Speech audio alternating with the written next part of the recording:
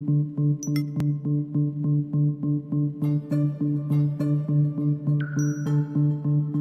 you.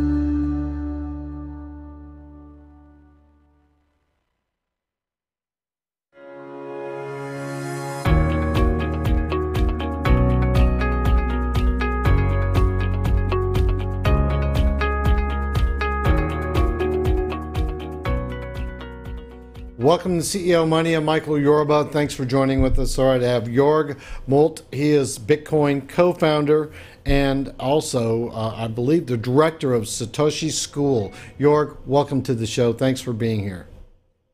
Thank you, Michael, for inviting me. And yes, you said it.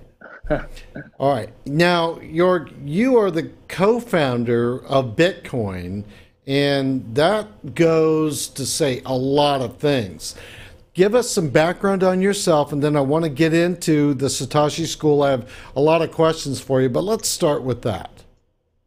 Okay, in an easy way, um, I was born in the 1972s, and I'm yeah now 46 years old. And as you can imagine, I'm one of the guys having the first computers ever, the home computer VC20, C64, and Amiga, with all the stuff started over, I would say. And from that point, you can imagine I'm from Europe. Not a lot of people could afford to buy this computer. And I was in a very little small community. My father was a banker and he sends me all over the world to um, get knowledge about hardware, computer software, computer coding uh, in the former times. And yeah, he understands that this is my, um, I would say, this is the thing for me to get on in the future because I said um, I never will get a banker or something like that. But he said computers will be and you out in the world. What happens after that was that I become knowledge of a lot of groups who um, were cracking the games. You know, um, the Commodore computer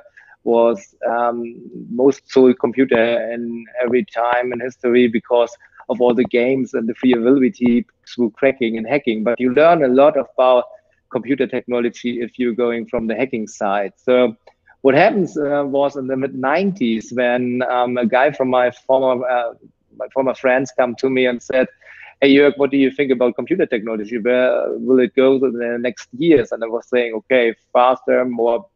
Better graphics, games are not so easy to hack, and more challenges in that, and the coding. And he says that, right, but can you imagine that there is something about that um, computer can control the world in the future? And I was in the mood and was saying, ah, I don't believe. So he said, have you ever read George Orwell, 1984, for example? And I said, never. So my parents um, listened to this speech and um, bought me that book. And um, I expected a new home computer at uh, Christmas time. So they gave me first the book and said, if you do not read that book, you wouldn't prepare for the future, so we can't support you with new computer te technology. So I was saying, okay, a book uh, from the 1940s um, written by a guy I do not know, maybe a little bit dusty, and said, okay, I will read this book. And I clearly understand at that moment that someday the point will come where computer control everything in your life. And as we see as present, it is there. So what happens? I called the guy back and was saying to him, okay, what you're working in. And he said, okay, you can read code, you uh, hacked a lot of games, and we want you to show over some concepts about um, making digital files in a way um, secure that no one can access to them, even if they are on their own computers. So we have a file transfer transfer protocol, and it is very secure and um, after a time, I um, figured out that I'm, that I'm working as a supporter to um, the DigiCash team. And they worked on all this stuff with David Chaum. This was uh, later, uh, let's say one year later, I figured it out. And for me, it was not about the coding. I'm, I can code, I can read code, but there are a lot of guys who can do that in a much better, and faster way than me. So um, I'm working. Uh, I've worked as a conceptualist. Um, hacking is about the concept. It's not about that you can code. Um, you find as a conceptualist a door. You find an open door to come in. You find the keys, the right access codes, or everything, and uh, you manage how to find it. It's more about think about a car uh, as a designer, I would say. And if you design uh, um, uh, say re-engineering or something like that in technology to find flaws in the code. This is much more that what I do. And so I was on a whiteboard in all these groups think about the app Slack, how we work together. Okay, uh, with Slack you can invite people only by email without knowing who is who, and work together because if the project is not running and the guy is not working in your mood and in that what you want to reach with the whole team, you can kick him out easily without knowing him, you know. And in former times, we worked with all the whiteboard stuff with emails and everything, and that leads me into this group. So from that point, when it split up because David Chaum was going to the banks, to the Deutsche Bank, and presented his system and his card system and all the stuff about. Um, uh, it was clear for me and uh, a lot of people from the team to leave that part and work on different projects. So what happens was we work on a lot of um, uh, other money uh, programs like Mcash, Zcash.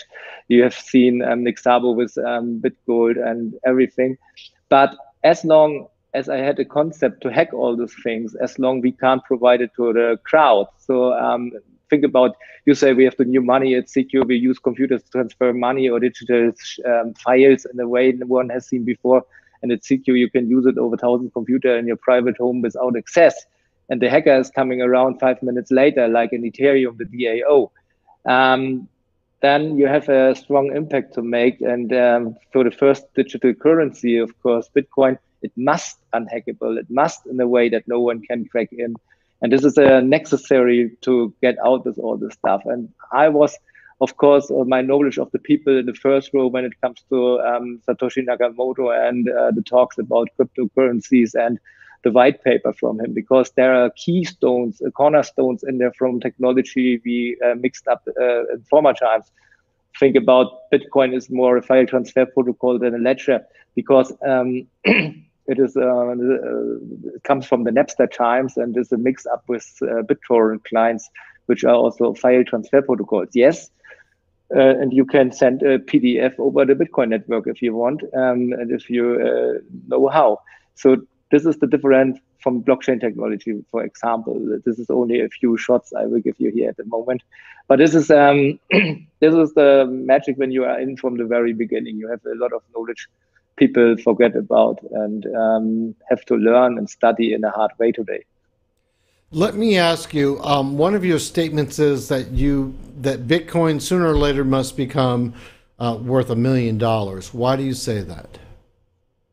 Yeah, um, a lot of uh, people do not understand what the power of limitation is. So, for example, you say gold is limited, okay, but you haven't got seen gold in a limitation. You can't feel it in bitcoins we exactly know every 10 minutes bitcoins coming out of the system and the total amount of bitcoins is fixed by mathematics not by belief so if uh, in the future like the past 10 years no one can come into bitcoin system um, you can't change this amount and um, the demand of bitcoin is rising and not only from a point that you say okay the traders go in or something like that um, more from the people outside the US and Europe. Um, I would say in the third countries, like you see the news about Argentina, you have seen what happened to the stock market uh, this day again.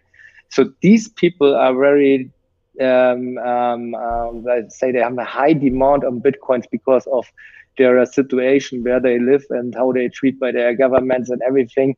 And they need something they can believe in, which gives them a stabilized um, subsidiary for money. And this belief leads us in a crowd from 2016 when we had um, about 2 million participations in the Bitcoin world, uh, world today to 50 millions, like Coinbase was saying, each month since 2017, 50,000 new users uh, join Bitcoin and um, access to wallets and everything in there. So you see it is rising. And the more people are in there on a limited system, um, the higher the price must be. And I suggest that we have in 2020, 21, more than 150 million people in the Bitcoin space.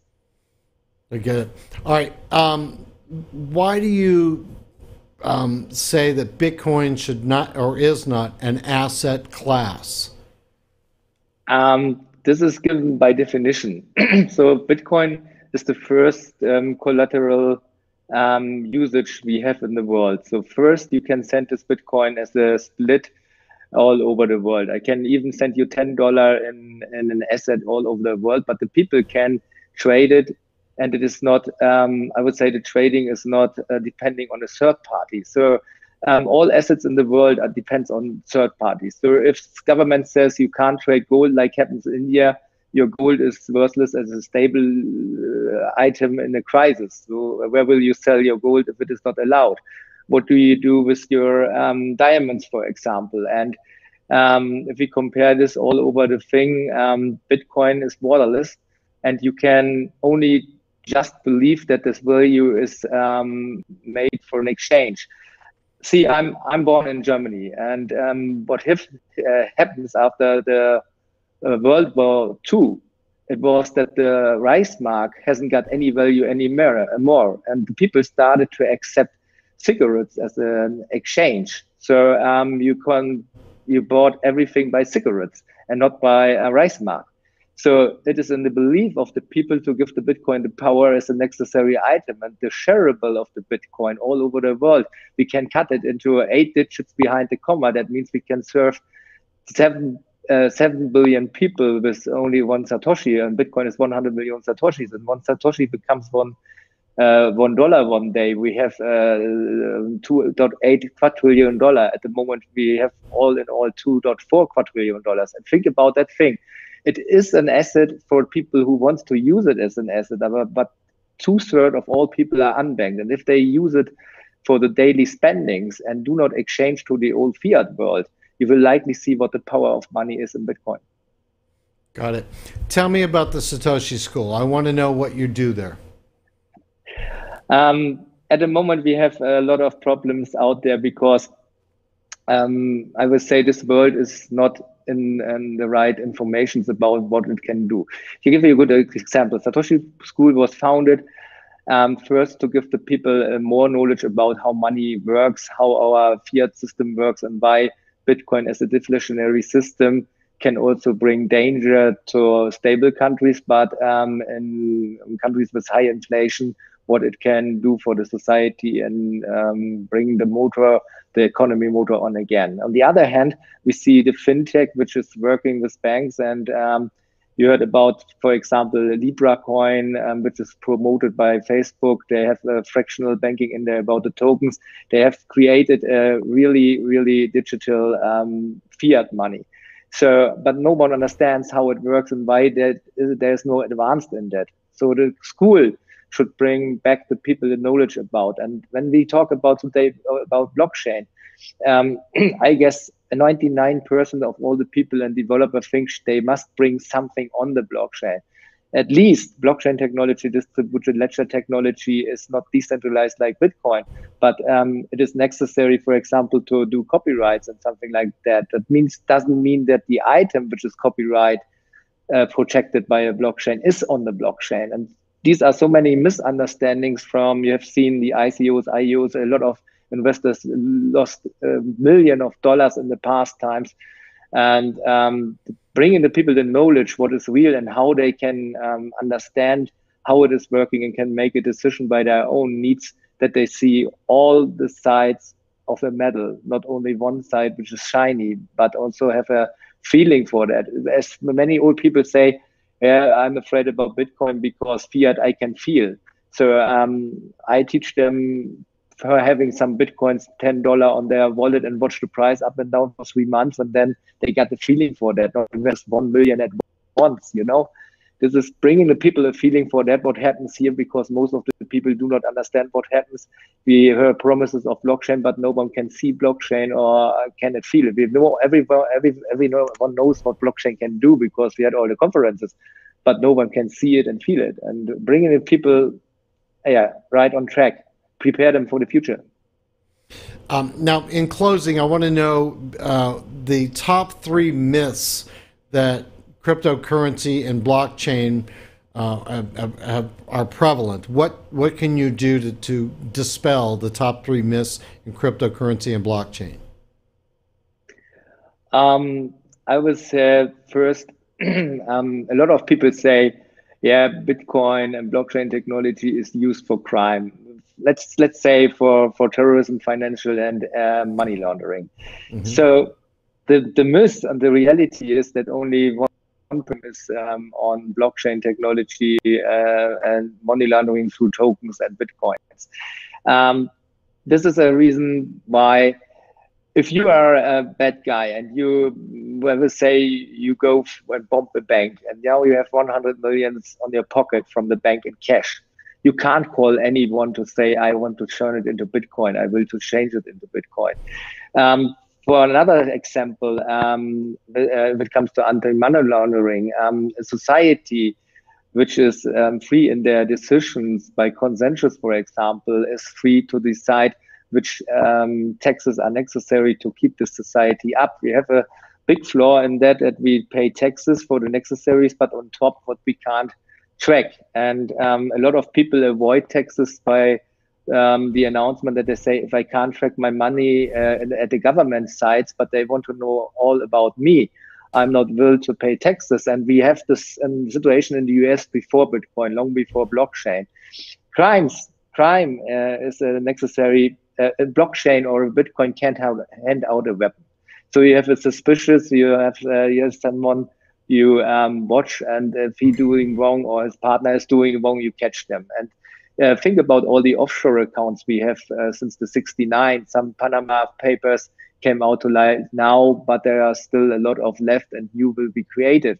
So they are more efficiency because they work on credit bar- basis than a Bitcoin which hasn't got a credit line or something like that. So um, it will be used, but it is like you put a knife out of your um, drawer from the kitchen and you can decide cut the turkey or cut your wife, right? Right. And I believe in the good of the people. I believe that more people are um, will use their money to have a stable community, a safe neighborhood, and everything in there. But they want to have the feeling that the money can't block by banks or anything. And um, there's the freedom needs rules, of course. That that's a thing, yeah. But I think um, we are, especially in the US, um, overprotected. Got it.